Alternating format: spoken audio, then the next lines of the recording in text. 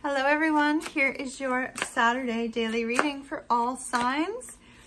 Um, I will be resuming zodiac signs in October. Thank you in advance. I'm sorry I took that out. That's the Empress. The Prince of Cups. The Prince of Wands.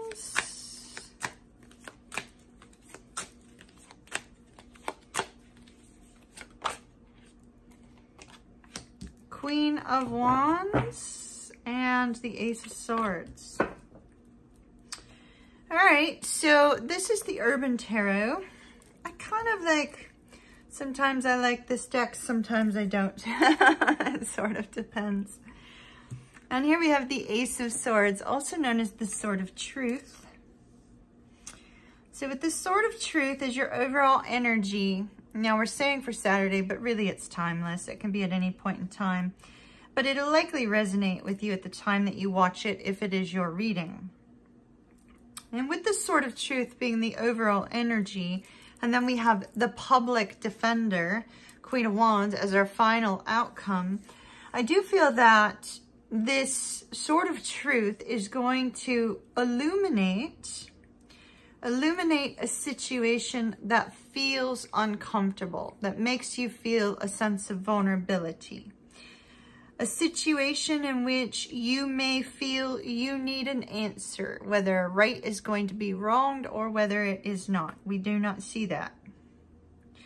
But we do see a situation in which it is extremely important for you to, if you're having a brand new beginning, to be very nurturing, very loving, to speak the truth openly, honestly, and directly, and to show yourself to be strong and confident. Not to move too fast, to move a little bit more slow, and not to believe everything that you hear from other people.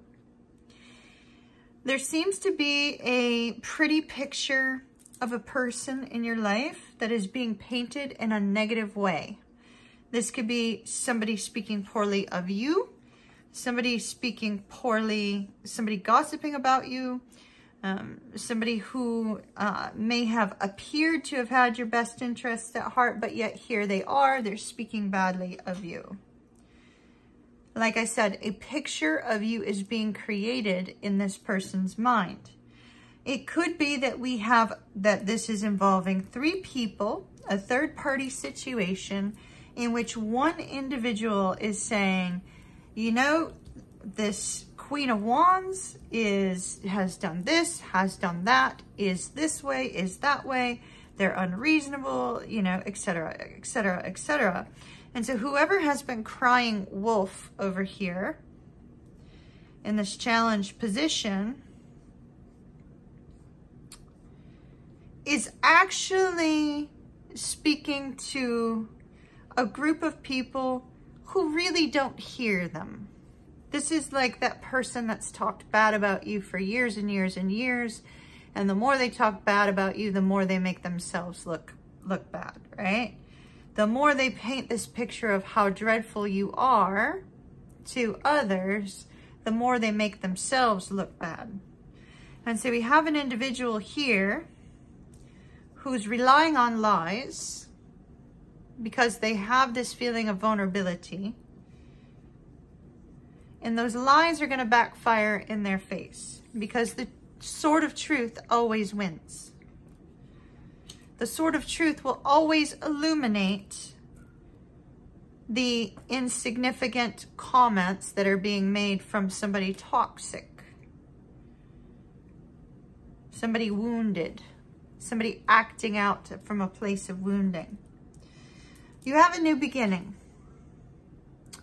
You have a new beginning regarding your life, regarding the overall aspect of your life regarding love, regarding wealth, regarding family, regarding relationships. Some of you will be moving towards a spiritual type of work.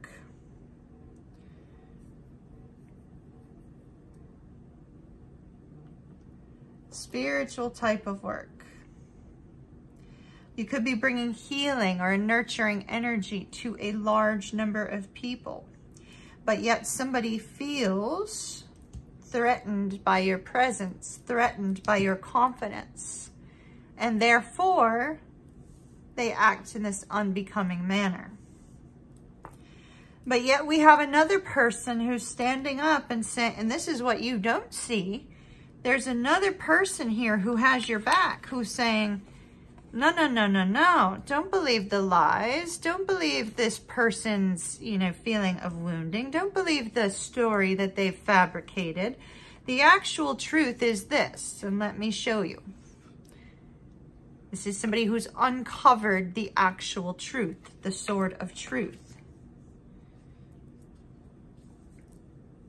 The journalist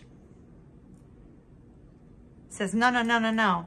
that story you've been telling, you may be spinning it in a way to make it appear all dramatic and all, all that. But no, no, no. The actual truth is this. And so you have somebody standing up in your favor here. And it's going to be very important whether you identify as female, ma male, or they, them, does not matter you have to harness this energy of the Queen of Wands to be strong and confident in the face of adversity, to not let your enemies cause you to fail, to not let this...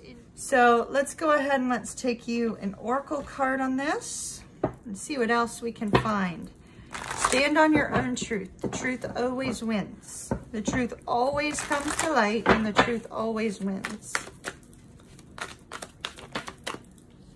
Peace. Look at this. The, the sword of truth brings peace. You can rest easy and have peace if you know that the truth is something different than what this person is acting like or expressing. And resilience. Okay, so your resilience is faltering. And it's really important for you to try to remain resilient. Try to remain strong because like I said, the sword of truth always wins. All right, my dears, love and light to you. Ocean signing off for now, and I'll see you again soon. Bye.